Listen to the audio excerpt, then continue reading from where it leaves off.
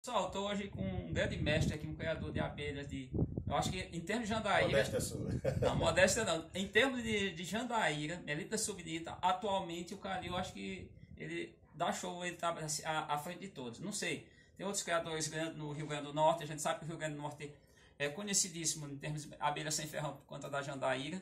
Então estou aqui no meu Meliponai desse 9 de é, fevereiro de 2019 e eu só gostaria que Calil desse aí uma palavrinha para o canal Abelhas do Bioma Caatinga. Ah, para mim é um prazer estar aqui no canal, vendo esse meliponário que é uma maravilha. Colônias de mandacaia espetaculares, cobertas aqui, muito produtivas. Machos aqui a todo instante, a gente consegue detectar aqui, ó. Isso aqui é um sinal forte que, a, que a, as colônias são fortes, a presença de muitos machos. E encantado com a quantidade dos enxames e a força das abelhas da mandacaia da região da Caatinga de Petrolina.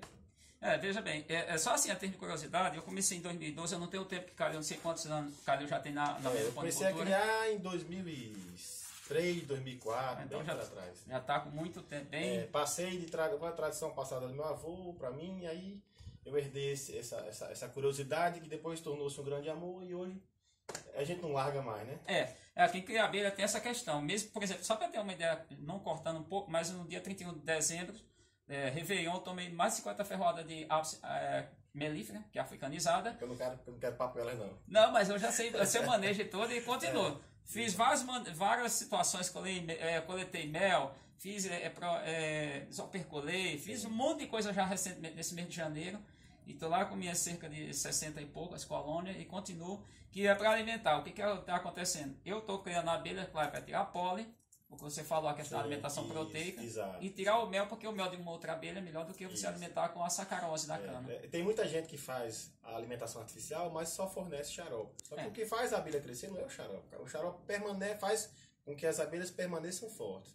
O que faz a abelha crescer é proteína. É, é como se fosse a carne pra gente, né? Isso. E então a abelha ou precisa do pólen ou você tem que suplementar com alguma coisa que seja similar. Eu, pessoalmente, gosto e sempre faço com os bombons de pólen. Né? Eu faço, misturo pólen, pólen mesmo, da apis, né? É. Misturo com mel e eu faço uma, uma bolinha e faço, em, coloco ela dentro do, do, do, do da cera líquida diluída certo. e aí eu faço os bombons de pólen, que é aquele bombom do capas. Certo. É, eu sei, eu sei, o capas é o português, é, né? Que é exato, exato, exato, É, na verdade, como eu, por que, que eu falo Calil? Porque na verdade eu tenho uma admiração por, por já falecido, o padre... É, padre Humberto Bruman Padre Humberto Bruno, que, é, que ficou no Rio Grande do Norte, apesar de catarinense. É, também por outros, outros criadores, como foi o, o Moura, que é sim, é, sim, tem o catálogo que é fundamental, é importantíssimo. O Paulo Renato está aí, o que é doutor que faleceu. Tem também, por exemplo, lá no Rio Grande do Norte, que eu nunca vi, a Vera Lúcia. Vera Lúcia Imperatriz, Imperatriz. uma grande pesquisadora, conheci, tive a honra de conhecê-la. Pois é, tem, uns, tem vários criadores. E o Calil, como eu, eu falo, eu, o pessoal até falando ontem no grupo, eu digo, ó, Calil tem uma experiência, ó, muito. Agora, claro que eu comecei aqui com duas colônias. É, mas aí vai multiplicando, multiplicando, multiplicando. E hoje eu tenho, hoje eu faço hoje permutação também com os criadores para é, a questão da, da consanguinidade. Então é isso, gente. Eu acho que assim é um. Foi um prazer estar aqui também. conhecendo o amigo, eu conhecendo também. esse meliponário. É, aqui é e eu vou voltar aqui outras vezes para a gente fazer algumas experiências, algumas trocas e conversar mais aqui sobre a vida sem ferrão. Gente, obrigado, até mais.